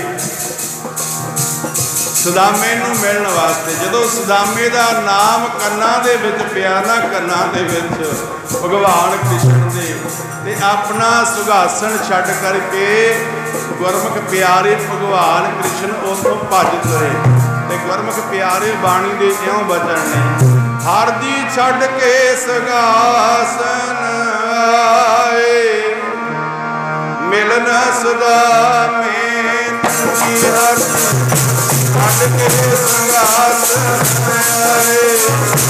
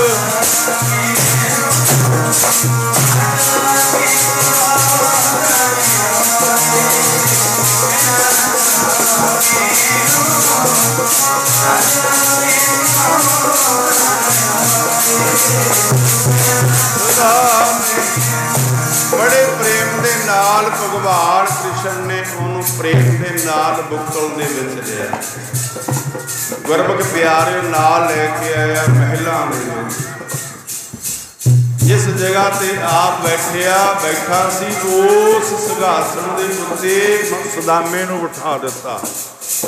ਦਾਮਾ ਕਹਿਣ ਲੱਗਾ, ਮਹਾਰਾਜ, ਮੈਂ ਤਾਂ ਲਿਬੜਿਆ ਲਿਬੜਿਆ। ਮੈਨੂੰ ਕਿਉਂ ਬਿਠਾ ਰਹੇ ਨਹੀਂ, ਕਹਿੰਦਾ, ਬਹਿ। ਇਤਿਹਾਸ ਦੱਸਦਾ ਵੀ ਉਹਦੇ ਚਰਨ ਧੋਤੇ, ਕਿਉਂਕਿ ਬ੍ਰਾਹਮਣ ਸੀ ਗੁਰਮੁਖ ਪਿਆਰੇ ਪੈਰ ਧੋਤੇ, ਸੋਹਣੇ ਵਸਤਰ ਪਹਿਨਾਏ, ਚੰਗਾ ਭੋਜਨ ਛਕਾਇਆ। ਤੇ ਨਾਲੇ ਪੁੱਛਦਾ ਵੀ ਮੇਰੇ ਲਈ ਕੁਝ ਭੇਜਿਆ। ਮੇਰੀ ਭਰਜਾਈ ਨੇ ਮੇਰੇ ਲਈ ਕੁਝ ਭੇਜਿਆ। ਉਹ ਜਦੋਂ ਪੱਗ ਦੇ ਲੜ ਖੋਲਾ ਖੋਲਾ ਤੇ ਥੋੜੇ ਜਿਹੇ ਚੌਲ ਨਿਕਲੇ। ਪਾਣੀ ਦੇ ਬਚਨ ਨੇ ਲੈ ਕੇ ਤੰਦਲ ਚੱਪਣ ਲੱਗੇ। ਕਹਿੰਦੇ ਨੇ ਉਹ ਤੰਦਲ ਲੈ ਕਰਕੇ ਚੌਲ ਲੈ ਕੇ ਕੱਚੇ ਹੀ ਖਾਣ ਲੱਗੇ ਭਗਵਾਨ। ਰੁਕਮਣੀ ਕਹਿਣ ਲੱਗੀ, ਮਹਾਰਾਜ ਕੱਚੇ ਨਾ ਖਾਓ ਉਬਾਲ ਦਿੰਦੇ ਆ, ਦੇ ਦਿੰਦੇ ਆ। ਕਿਉਂਕਿ ਉਹਦਾ ਉਹ ਦੁੱਖ ਕੱਟਣਾ ਉਹਦਾ ਉਹ ਸ਼ਰਾਬ ਕੱਟਣਾ ਸੀ, ਉਹ ਵਚਨ ਕੱਟਣਾ ਬਚਨ ਕੱਟਣਾ ਉਹ ਖਾ ਕੇ ਕੱਚੇ ਗੁਰਮੁਖ ਪਿਆਰੇ ਚੌਲ ਤੇ ਭਗਵਾਨ ਕਹਿਣ ਲੱਗੇ ਵੀ ਬੜੇ ਖੁਸ਼ ਹੋਏ। ਬੜੇ ਸਮੇਂ ਬਾਅਦ ਮਿਲੇ ਸਨ। ਫਿਰ ਭਗਵਾਨ ਨੇ ਸਾਰਾ ਹੀ ਉਹਦਾ ਦਲਿੱਦਰ ਕੱਟ ਦਿੱਤਾ। ਸਾਰੀਆਂ ਜਿਹੜੀਆਂ ਕਮੀਆਂ ਨੇ, ਗੁਰਮੁਖ ਪਿਆਰੇ ਘਰ ਦੀ ਗਰੀਬੀ ਸਭ ਕੱਟ ਦਿੱਤਾ, ਸਾਰੀ ਕੱਟ ਦਿੱਤੀ। ਕਿਉਂਕਿ ਗੱਲ ਹੈ ਪ੍ਰੇਮ ਦੀ, ਸਤਿਗੁਰੂ ਦੀ ਬਾਣੀ ਵਿੱਚ ਬਚਨ ਕਰਦੇ ਨੇ, ਸਾਚ ਕਹੂੰ ਸੁਣ ਲਿਓ ਸਵੈ, ਜਿਨ ਪ੍ਰੇਮ ਕੀਓ ਤੇ ਨਹੀਂ ਪ੍ਰਭ ਜਿਨ੍ਹਾਂ ਨੇ ਪ੍ਰੇਮ ਕੀਤਾ ਹੈ, ਆਪਣੇ ਭਗਵਾਨ ਦੇ ਨਾਲ, ਆਪਣੇ ਇਸ਼ਟ ਦੇ ਨਾਲ, ਆਪਣੇ ਗੁਰੂ ਦੇ ਨਾਲ, ਫਿਰ ਗੁਰੂ ਵੀ ਫਿਰ ਉਹਦਾ ਹੋ ਜਾਂਦਾ ਹੈ। ਕਿਉਂਕਿ ਕਬੀਰ ਸਾਹਿਬ ਕਬੀਰ ਮੇਰਾ ਮੁਝ ਮੈਂ ਕਿਛ ਨਹੀਂ, ਜੋ ਕਿਛ ਹੈ ਸੋ ਤੇਰਾ। ਤੇਰਾ ਤੁਝ ਕੋ ਸੌਂਪ ਦੇ ਕਿਆ ਲਾਗੇ ਮੇਰਾ। ਕਬੀਰ, ਤੂੰ ਤੂੰ ਕਰਤਾ, ਤੂੰ ਭਿਆ ਮੁਝ ਮੇ ਰਹਾ ਨਾ ਹੂੰ, ਜਬ ਆਪਾ ਫ਼ਰਕ ਮਿਟ ਗਿਆ, ਜਦ ਦੇਖਾ, ਤਤ ਮਹਾਰਾਜ ਜਿੱਧਰ ਦੇਖਦਾ, ਮੈਂ ਤੂੰ ਹੀ ਨਜ਼ਰ ਆਉਣਾ ਇਸ ਕਰਕੇ ਫਿਰ ਭਗਵਾਨ ਨੇ ਸੁਦਾਮੇ ਦੀਆਂ ਝੋਲੀਆਂ ਭਰੀਆਂ, ਸਾਰੀ ਗੁਰਮੁਖ ਪਿਆਰੇ ਗਰੀਬੀ ਦਲਿਦਰਤਾ ਦੂਰ ਕੀਤੀ ਕਿਉਂਕਿ ਉਹ ਸਮਰੱਥ ਸਨ ਉਸ ਸਮੇਂ। ਦੁਰਾਪਰ ਯੁੱਗ ਦੇ ਤਰਕਾਲੀ ਭਗਵਾਨ ਸਨ ਉਹਨਾਂ ਨੇ ਉਹਨਾਂ ਤੇ ਕਿਰਪਾ ਕੀਤੀ। ਇਸ ਕਰਕੇ ਸਤਿਗੁਰ ਮਹਾਰਾਜ ਜੀ ਨੇ ਅੰਤਾ ਕਰਨ ਸਤਿਗੁਰੂ ਜੀ, ਚੜ੍ਹਦੀ ਕਲਾ ਬਖਸ਼ ਇਸੇ ਤਰ੍ਹਾਂ ਹੀ ਆਪਾਂ ਗੁਰੂ ਦੀ ਸੰਗਤ ਦੇ ਵਿੱਚ ਬੈਠ ਕਰਕੇ ਕੋਈ ਹਰੀ ਦਾ ਜਸ ਗਾ ਕੇ ਸੁਣਾ ਰਹੇ ਹੈ। ਤੁਸੀਂ ਸੁਣ ਰਹੇ ਹੋ, ਸਾਡਾ ਸਭ ਦਾ ਹੀ ਭਲਾ ਗੁਰਮੁਖ ਪਿਆਰੇ, ਸਾਡੇ ਸਭ ਤੇ ਹੀ ਗੁਰੂ ਦੀ ਨਜ਼ਰ ਹੈ। ਸਾਡੇ ਸਭ ਤੇ ਗੁਰੂ ਦੀ ਮਿਹਰ ਹੈ, ਕਿਉਂਕਿ ਸਭ ਤੋਂ ਵੱਡੀ ਗੱਲ ਹੈ, ਇਸ਼ਨਾਨ ਕਰ ਲਿਆ। ਸਾਡਾ ਕਦਮ ਉਧਰੋਂ ਉੱਠ ਕਰਕੇ ਚੰਗੇ ਵਾਲੇ ਪਾਸੇ ਨੂੰ ਉੱਠਿਆ ਗਿਆ। ਤੇ ਗੁਰਮੁਖ ਪਿਆਰੇ, ਸਾਡਾ ਜਿਹੜਾ ਦਿਨ ਹੈ ਜਿਹੜਾ ਸਾਡਾ ਸਮਾਂ ਉਹ ਚੰਗੇ ਪਾਸੇ ਲੱਗੇਗਾ। ਇਸ ਕਰਕੇ ਗੁਰਮੁਖ ਪਿਆਰਿਓ, ਗੁਰੂ ਕਿਰਪਾ ਕਰੇ, ਬਖਸ਼ਿਸ਼ ਕਰੇ, ਰਹਿਮਤ ਕਰੇ। ਅੱਜ ਮੱਸਿਆ ਦਾ ਦਿਹਾੜਾ ਵੀ ਹੈ ਤੇ ਮੈਂ ਕੁਝ ਦੇਰ ਬਾਅਦ ਗੁਰਦੁਆਰਾ ਨਾਨਕਸਰ, ਪਟੜੀਆ, ਤੁਲਾ ਉੱਥੇ ਵੀ ਹਾਜ਼ਰੀ ਭਰਨ ਜਾਣਾ ਹੈ। ਨਾਲ ਜਿਹੜੀ ਬੱਚਿਆਂ ਦੀਆਂ ਕਲਾਸਾਂ ਚੱਲ ਰਹੀਆਂ ਨੇ, ਸਕੂਲ ਚੱਲ ਰਹੇ ਆ, ਉਹਦੇ ਵਾਸਤੇ ਕੋਈ ਕੋਰਸ ਵਗੈਰਾ ਸਾਡੇ ਕੋਲੇ ਥੋੜੇ ਪੈ ਗਏ ਨੇ। ਬੱਚੇ ਹੋਰ ਜਿਨ੍ਹਾਂ ਦੇ ਐਡਮਿਸ਼ਨ ਹੋਏ ਨੇ, ਉਹਨਾਂ ਦੀਆਂ ਸਿਲੇਬਸ ਲੈ ਕੇ ਆਉਣੇ ਨੇ। ਹੋਰ ਵੀ ਕਈ ਕੰਮ ਨੇ। ਇਸ ਕਰਕੇ ਸਤਿਗੁਰ ਮਹਾਰਾਜ ਜੀ ਆਪਣੀ ਸੇਵਾ ਆਪ ਲੈ ਰਹੇ ਨੇ। ਭਾਈ ਜਸਪ੍ਰੀਤ ਸਿੰਘ ਜੀ, ਸਮੂਹ ਪਰਿਵਾਰ ਨੇ ਇਕੱਤਰ ਹੋ ਕਰਕੇ ਸਤਿਗੁਰ ਮਹਾਰਾਜ ਜੀ ਦਾ ਓਟ ਆਸਰਾ ਲਿਆ ਇਸੇ ਤਰ੍ਹਾਂ ਸਤਿਗੁਰੂ ਮਹਾਰਾਜ ਜੀ ਮਿਹਰ ਕਰਨ। ਸਭ ਦੇ ਦੁੱਖ ਦਲਿੰਦਰ ਕੱਟਦੇ ਰਹਿਣ। ਗੁਰੂ ਦੇ ਚਰਨਾਂ ਦੇ ਨਾਲ ਜੁੜੇ ਰਹੀਏ ਤੇ ਗੁਰਮੁਖ ਪਿਆਰੇ ਅਸੀਂ ਚੜ੍ਹਦੀ ਕਲਾ ਦੇ ਵਿੱਚ ਰਹੀਏ।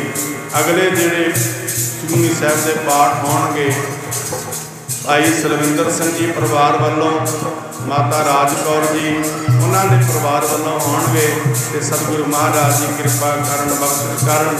ਇਸੇ ਤਰ੍ਹਾਂ ਹੀ ਐਤਵਾਰ ਦੇ ਦਿਨ ਇਹ ਸਾਨੂੰ ਬੜਭਾਗਾ ਸਮਾਂ ਪ੍ਰਾਪਤ ਹੋਇਆ ਬੜ ਭਾਗੀ ਹਰ ਸੰਗਤ ਪਾਵੈ, ਭਾਗ ਵੀਰ ਬ੍ਰਹਮ ਟੋਟਾਂ ਖਾਵੈ, ਬਿਨ ਭਾਗਾਂ ਸਤ ਸੰਗ ਨ ਲੱਭੈ, ਬਿਨ ਸੰਗਤ ਮੈਲ ਭੀਜੈ ਜੀਉ, ਬਿਨਾ ਭਾਗਾ ਤੋਂ ਬਿਨਾ ਕਰਮਾਂ ਤੋਂ ਬੰਦਾ ਗੁਰੂ ਸੰਗਤ ਦੇ ਵਿੱਚ ਆ ਨਹੀਂ ਸਕਦਾ ਮਹਾਂਪੁਰਸ਼ ਬਾਬਾ ਸੁਖਦੇਵ ਸਿੰਘ ਜੀ, ਡੇਰਾ ਰੋਮੀ ਕੋਚੋ ਕਲਾਂ ਵਾਲੇ ਦਿਨ ਰਾਤ ਇਸੇ ਤਰ੍ਹਾਂ ਹੀ ਸਤ ਸੰਗਤ ਕਰਦੇ ਜਾਂਦੇ ਦਿਨ ਰਾਤ ਉਹਨਾਂ ਨੇ ਗੁਰਮੁਖ ਪਿਆਰੇ ਕਥਾ, ਕੀਰਤਨ ਦੇ ਬਾਣੀ ਦੇ ਪ੍ਰਵਾਹ ਇਸੇ ਤਰ੍ਹਾਂ ਹੀ ਚਲਾਉਂਦੇ ਰਹਿੰਦੇ ਨੇ। ਤੇ ਗੁਰਮੁਖ ਪਿਆਰੇ ਉਹਨਾਂ ਵੱਲੋਂ ਡਿਊਟੀ ਅਸੀਂ ਗੁਰਮੁਖ ਪਿਆਰੇ ਆਪਣੀ ਵਜਾ ਰਹੇ ਆ ਤੇ ਗੁਰਮੁਖ ਪਿਆਰੇ ਕਰ ਰਹੇ ਆ ਤੇ ਸਤਿਗੁਰ ਮਹਾਰਾਜ ਜੀ ਸਾਡੇ ਤੋਂ ਤੁਹਾਡੇ ਤੋਂ ਸਭ ਤੋਂ ਸੇਵਾ ਲੈ ਰਹੇ ਨੇ। ਇਸੇ ਤਰ੍ਹਾਂ ਹੀ ਗੁਰਮੁਖ ਪਿਆਰੇ ਗੁਰੂ ਦੀ ਸੇਵਾ ਕਰਕੇ, ਗੁਰੂ ਦੀ ਸੰਗਤਾਂ ਦੀ ਸੇਵਾ ਕਰਕੇ ਗੁਰੂ ਦੀ ਖੁਸ਼ੀ ਲੈਣੀ ਹੈ। ਤੇ ਸਤਿਗੁਰੂ ਜੀ ਫਿਰ ਕੀ ਕਹਿੰਦੇ ਨੇ? ਲੱਖ ਖੁਸ਼ੀਆਂ ਪਾਤਸ਼ਾਹੀਆਂ, ਜੇ ਸਤਿਗੁਰ ਨਜ਼ਰ ਕਰੇ, ਜੇ ਗੁਰੂ ਦੀ ਨਜ਼ਰ ਹੋ ਜਾਵੇ, ਗੁਰੂ ਦੀ ਮਿਹਰ ਹੋ ਜਾਵੇ। ਲੱਖ ਖੁਸ਼ੀਆਂ, ਪਾਤਸ਼ਾਹੀਆਂ ਜੇ ਸਤਿਗੁਰ ਨਜ਼ਰ ਕਰੇ, ਨਿਮਕ ਏਕ ਹਰ ਨਾਮ ਦੇ ਮੇਰਾ ਮਨ ਤਨ ਸ਼ੀਤਲ ਹੋਏ। ਮੇਰਾ ਮਨ ਵੀ, ਮੇਰਾ ਤਨ ਵੀ ਇਹਦੇ ਵਿੱਚ ਸ਼ੀਤਲਤਾ ਆ ਜਾਵੇ, ਸਹਿਜ ਆ ਜਾਵੇ, ਨਿਮਰਤਾ ਆ ਜਾਵੇ, ਪ੍ਰੇਮ ਆ ਜਾਵੇ। ਤੇ ਗੁਰਮੁਖ ਪਿਆਰਿਓ ਗੁਰੂ ਦੇ ਦਰ ਤੋਂ ਗੁਰੂ ਦੇ ਕੋਲੋਂ ਮੰਗੀਏ ਤੇ ਮਹਾਰਾਜ ਸਾਨੂੰ ਇਹ ਹਰ ਜਸ ਸਾਨੂੰ ਪ੍ਰਾਪਤ ਹੁੰਦਾ ਰਹੇ ਮੰਗਣਾ ਮੰਗਣ ਨਿੱਕਾ ਹਰ ਜਸ ਗੁਰ ਤੇ ਮੰਗਣਾ।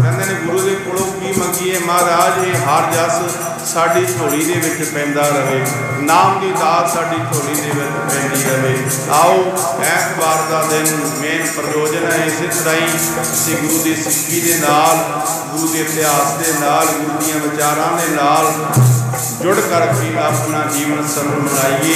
ਇਹ ਲੋਕ ਸੁਖੀਏ ਪਰਲੋਕ ਸਹਿਲੇ ਨਾਨਕ ਹਰ ਪ੍ਰਭ ਆਪੇ ਮਨ ਮੇਲੇ। ਬੰਦਾ ਇਸ ਲੋਕ ਦੇ ਵਿੱਚ ਵੀ ਸੁਖੀ ਲਵੇ। ਪਰਲੋਕ ਦੇ ਵਿੱਚ ਵੀ ਸੁਖੀ ਰਵੇ ਸਤਿਗੁਰ ਮਹਾਰਾਜ ਜੀ ਸਭ ਨੂੰ ਚੜ੍ਹਦੀ ਕਲਾ ਦੀ ਦਾਤ ਬਖਸ਼ੇ। ਅਸੀਂ ਰੋਜ਼ ਪੜ੍ਹਦੇ ਹਾਂ, ਨਾਨਕ ਨਾਮ, ਚੜ੍ਹਦੀ ਕਲਾ ਤੇਰੇ ਪਾੜੇ। ਸਰਬੱਤ ਦਾ ਭਲਾਓ ਆਕਾਰ ਨਾ ਪੜ ਕੇ ਸਮਰਪੀ ਕਰੀ। ਤੇਰੇ ਨਾਮ ਦੀ ਚੜ੍ਹਦੀ ਕਲਾ ਹੋਵੇ। ਤੇਰੇ ਨਾਮ ਦੀ ਚੜ੍ਹਦੀ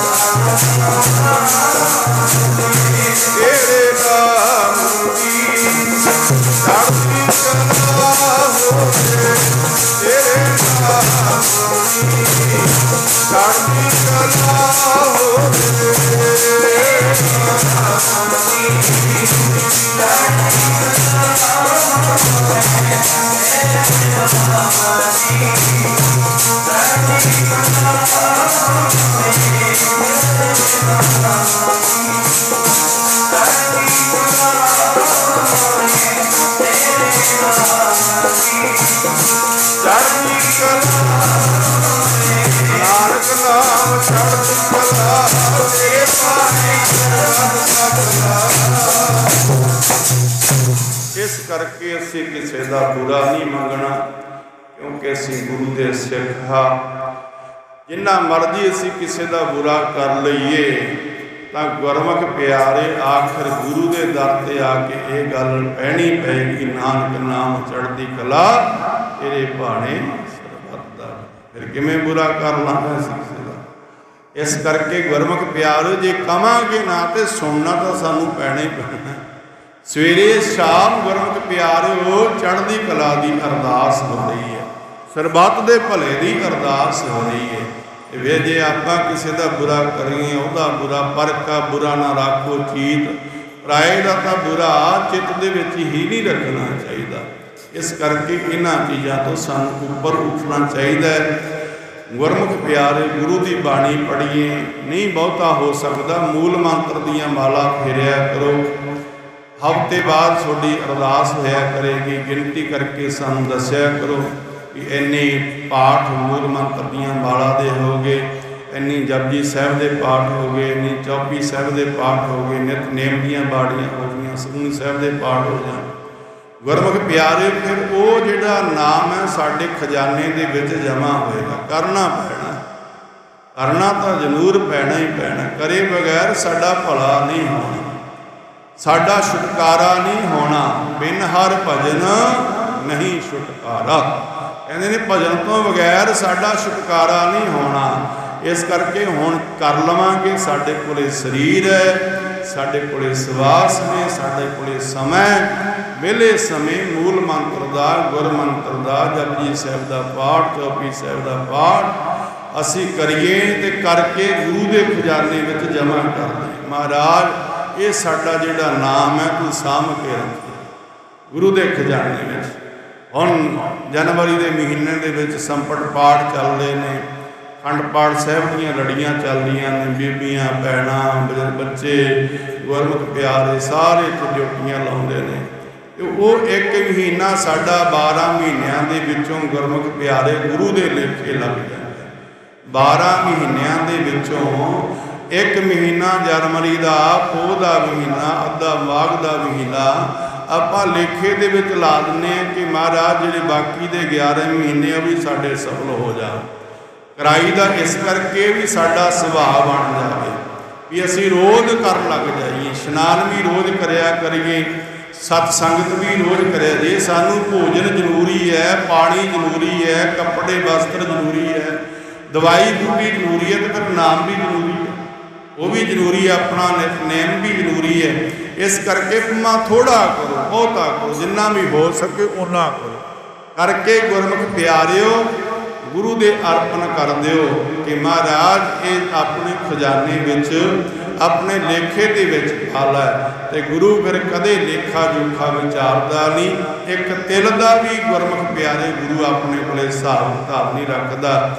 ਲੇਖੇ ਕਤੇ ਨਾ ਛੁੱਟੀਏ ਖਿਨ ਖਿਨ ਭੁੱਲਨ ਹਾਰ। ਬਖਸ਼ਣ ਹਾਰਾ ਬਖਸ਼ ਲੈ ਨਾਨਕ, ਪਾਰ ਉਤਾਰ। ਮਹਾਰਾਜ, ਤੂੰ ਮੈਨੂੰ ਬਖਸ਼ ਲੈ। ਮੈਂ ਔਗਣਾ ਦਾ ਭਰਿਆ, ਮੈਂ ਪਾਪੀ ਹਾਂ, ਮੈਂ ਗੁਨਾਹੀ ਹਾਂ। ਤੇ ਮੇਰੇ ਤੇ ਤੂੰ ਕਿਰਪਾ ਕਰ, ਬਖਸ਼ਿਸ਼ ਕਰ। ਹੈ? ਤੇ ਉਹ ਫਿਰ ਲੇਖੇ ਲੁਖੇ ਨਹੀਂ, ਫਿਰ ਉਹ ਵੇਖਦਾ। ਜਦੋਂ ਉਹਨੇ ਸਾਡਾ ਬੇੜਾ ਪਾਰ ਲਾਉਣਾ ਹੈ, ਤੇ ਉਹ ਇਹੋ ਜਿਹਾ ਇੱਕ ਕਰਮ ਅੱਗੇ ਆਏਗਾ, ਜਿਹਦੇ ਨਾਲ ਸਾਡਾ ਬੇੜਾ ਪਾਰ ਹੋ ਜਾਏਗਾ। ਆਓ ਭਾਈ, ਭੁੱਲਾਂ ਚੁੱਕਾਂ ਦੀ ਖਿਮਾ ਸਮੇਂ ਅਨੁਸਾਰ ਪਹੁੰਚਿਆ ਕਰੋ। ਪਾਠ ਵੀ ਥੋੜਾ ਮੋਟਾ ਸਰਵਨ ਕਰਿਆ ਕਰੋ। ਤੇ ਗੁਰਮੁਖ ਪਿਆਰਿਓ, ਨਾਲੇ satsang ਦੀਆਂ 9 ਵੱਜ ਚੁੱਕੇ ਨੇ, ਸਵਾ 9 ਹੋ ਚੁੱਕੇ ਨੇ। ਹੁਣ ਸਮਾਪਤੀ ਹੈ ਅਰਦਾਸ। ਉਸ ਤੋਂ ਬਾਅਦ ਪਵਿੱਤਰ ਹੁਕਮਨਾਮੇ ਹੋਣਗੇ। ਗੁਰੂ ਕਾ ਜਲ ਬਾਣੀ ਵਰਤੇਗਾ। ਸਾਰੀਆਂ ਸੰਗਤਾਂ ਨੂੰ ਗੁਰਮੁਖ ਪਿਆਰੇ ਗੁਰੂ ਘਰ ਵੱਲੋਂ ਜੀਉ ਆਏ ਆਖਿਆ ਜਾਂਦਾ ਹੈ।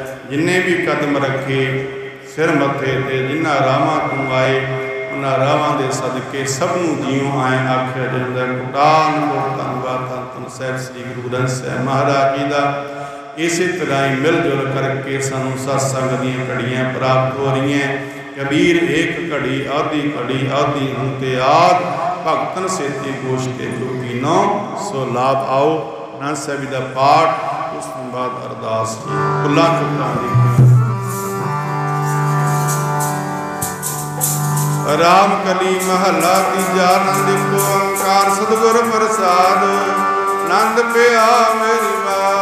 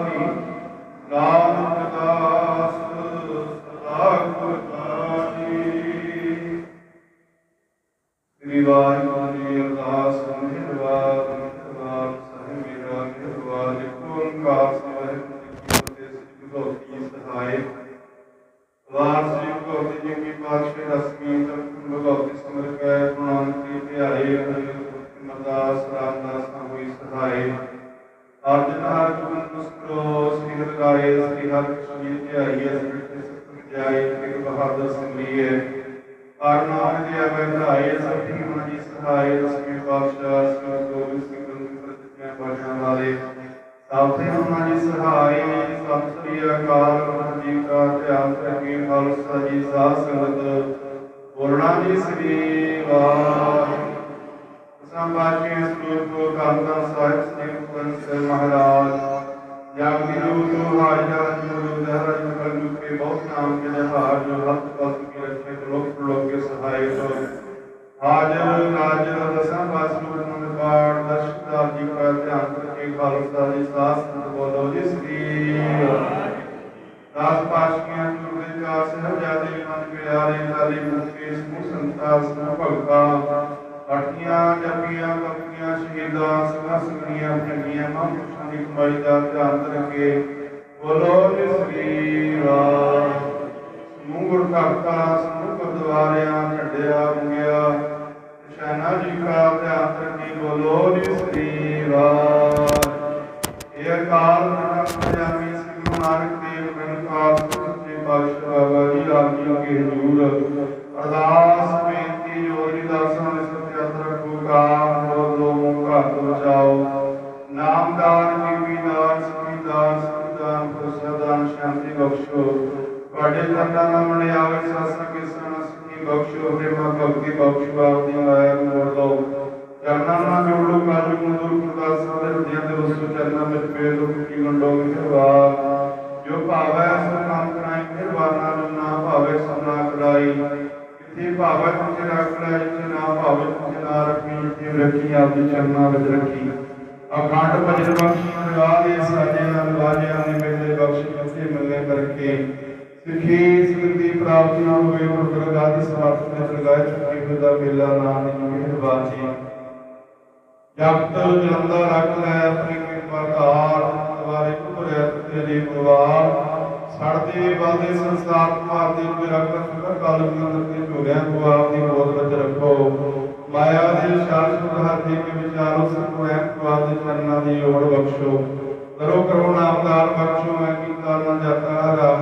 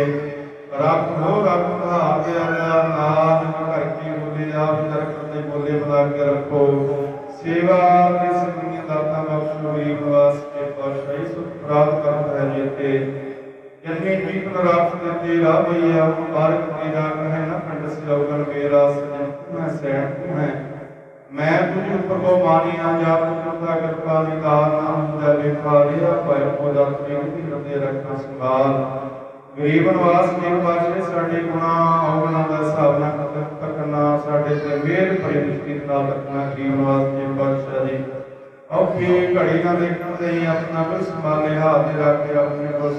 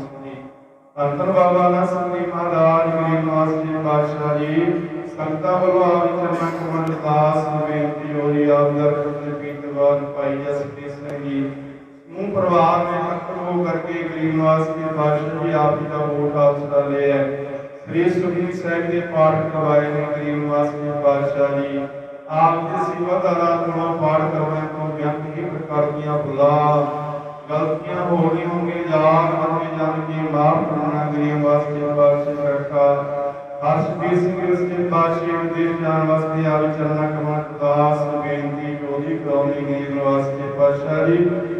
ਰਾਸ ਕਰਨੇ ਦੁੱਖਾਂ, ਰੋਗਾਂ ਵਿਘਨ ਨਾਸ ਕਰਨਾ ਸੁਖਾਂ ਦਾ ਪ੍ਰਕਾਸ਼ ਕਰਨਾ। ਭਾਈ ਦਰਸ਼ਨ ਸਿੰਘ ਜੀ, ਭਾਈ ਸ਼ੰਕਰ ਸਿੰਘ ਜੀ ਗਰੀਬ ਵਾਸਤੇ ਪਾਤਸ਼ਾਹ ਜੀ ਦੇ ਰੋਗਤਾ ਤੰਦਰੁਸਤੀਆਂ, ਚੜ੍ਹਦੀਆਂ ਕਲਾ ਬਖਸ਼ੀਆਂ, ਦੁੱਖਾਂ, ਰੋਗਾਂ ਵਿਘਨ ਨਾਸ ਕਰਨਾ ਸੁਖਾਂ ਦਾ ਪ੍ਰਕਾਸ਼ ਕਰਨਾ ਗਰੀਬ ਨਵਾਜ ਬੀਬੀ ਸਿਮਰਜੀਤ ਕੌਰ ਦੇ ਮਸਕੇ ਪਾਸ਼ਾ ਨਾਮ ਦੇ ਰੂਪ ਤੰਦਰੁਸਤੀਆਂ, ਚੜ੍ਹਦੀਆਂ ਕਲਾ ਬਖਸ਼ੀਆਂ। ਭਾਈ ਅਮਰਿੰਦਰ ਸਿੰਘ ਦੇ ਮਸਕੇ ਪਾਸ਼ਾ ਨਾਮ ਦੇ ਰੂਪ ਦਾ ਤੰਦਰੁਸਤੀਆਂ ਚੜ੍ਹਦੀਆਂ ਕਲਾ ਬਖਸ਼ੀਆਂ ਦੁਖਾਂ ਰੋਗਾਂ ਵਿਘਨਾਂ ਨਾਸ ਕਰਨਾ ਦਾ ਪ੍ਰਕਾਸ਼ ਕਰਨਾ, ਗਰੀਬ ਵਾਸਤੇ ਪਾਸ਼ਾ ਜੀ। ਇਸ ਇਸ ਮਨੋ ਭਾਵਨਾਵਾਂ ਨੂੰ ਲੈ ਕਰਕੇ ਸੰਗਤਾਂ ਆਵੀ ਦਰਬਾਰ ਦੇ ਵਿੱਚ ਹਾਜ਼ਰ ਹੋਈਆਂ। ਸਭ ਦੀਆਂ ਮਨੋ ਭਾਵਨਾਵਾਂ ਗਰੀਬ ਨਿਵਾਸ ਦੇ ਪਾਤਸ਼ਾਹ ਜੀ ਸੰਪੂਰਨ ਕਰਨੀਆਂ, ਕਾਰਜ ਰਾਸ ਕਰਨੇ ਸਿਵ ਪਰਿਵਾਰ ਵੱਲੋਂ ਆਪ ਸੁੰਦਰ ਮਾਦੇ ਅਰਪਣ ਕੀਤੇ ਨੇ। ਆਪ ਅੰਗੀਕਾਰ ਕਰਨੇ, ਸੇਵਕਾਂ ਦੇ ਲੋਕ ਲੋਕ ਦੇ ਪੜਦੇ ਕਤਲੇ ਮਾਰ ਦੁਨੀਆਂ ਕੰਦੇ ਵਿੱਚ ਵਾਧੇ ਕਰਨੇ ਬੀਜਿਆ ਹਰਾ ਕਰਨਾ ਗਰੀਬ ਨਿਵਾਸ ਦੇ ਪਾਤਸ਼ਾਹ ਇਸੇ ਤਰ੍ਹਾਂ ਹੀ ਆਪ ਜੀ ਦੀ ਸੇਵਾ ਬਖਸ਼ਦੇ ਰਹਿਣਾ ਗਰੀਬ ਨਿਵਾਸ ਇਸ ਟਾਈਮ ਆਪ ਦੀ ਪਾਵਨ ਪਵਿੱਤਰ ਹਜ਼ੂਰੀ ਅੰਦਰ ਕਲਾਬ ਛੜਾ ਥਾਲਾ ਸਰਤੀ ਹਾਜ਼ਰ ਹੋਇਆ ਭੋਗ ਲਾਓ। ਆਨਕ ਪ੍ਰਕਾਰ ਭੋਜਨ ਕੋ ਕੀਏ ਭੋਗ ਨਿਸ਼ਕਾਏ ਕਰੀ ਪਾਠ ਸਰਸੋਤ ਪਵਿੱਤਰਾ। ਹੁਣ ਲਾਵੋ, ਭੋਗ ਹੈ ਆਪ ਜੀ ਨੂੰ ਭੋਗ ਲੱਗੀ ਭੋਗ ਲੱਗਿਆ ਪ੍ਰਸ਼ਾਦ। ਸਾਸ ਰਸਨਾ ਲੈ ਪੂਰੇ ਗਰੀਮਾਸ ਕੇ ਪਾਤਸ਼ਾਹ ਸ਼ਾਹ ਜੀ ਐਸੀ ਨੇ ਜੋ ਵੀ ਮਾਈ ਪਾਈ ਆਪ ਦੇ ਦਰਬਾਰ ਦੇ ਵਿੱਚ ਹਾਜ਼ਰ ਹੋਏ ਹੈ ਸਭ ਦੇ ਪਾਪ ਦਾਸ ਕਰਨੇ, ਸਭ ਨੂੰ ਦੇ ਰੂਪਤਾ ਤੰਦਰੁਸਤੀਆਂ ਚੜ੍ਹਦੀਆਂ ਕਲਾ ਬਖਸ਼ੀਆਂ ਦਾਸਰਿਆਂ ਦੇ ਸਿਰ ਤੇ ਮੇਰ ਤੇ ਹੱਥ ਰੱਖਣਾ, ਚੜ੍ਹਦੀ ਕਲਾ ਦੇ ਵਿੱਚ ਆਪਣੀ ਸੇਵਾ ਲੈਣੀ ਸੁਖ ਹੋਵੇ, ਨਾਮ ਜਿੱਤੇ ਆਵੇ, ਨਾਨਕ ਦਾ, ਚੜ੍ਹਦੀ ਕਲਾ ਜਿਹੜੇ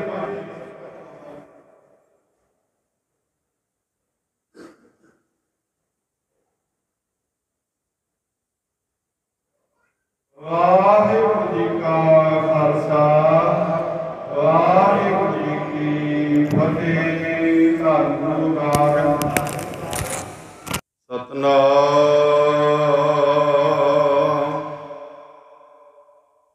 ਸ੍ਰੀ ਵਾਹਿਗੁਰੂ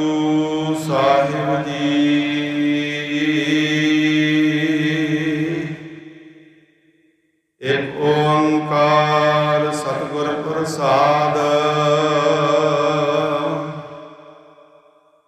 ਸੋਰਠ ਮਹਲਾ ਪੰਜਵਾ। ਪ੍ਰਭ ਕੀ ਸ਼ਰਨ ਸਗਲ ਪੈ ਲਾਥੇ, ਦੁਖ ਬਿਨ ਸੇ ਸੁਖ ਪਾਇਆ।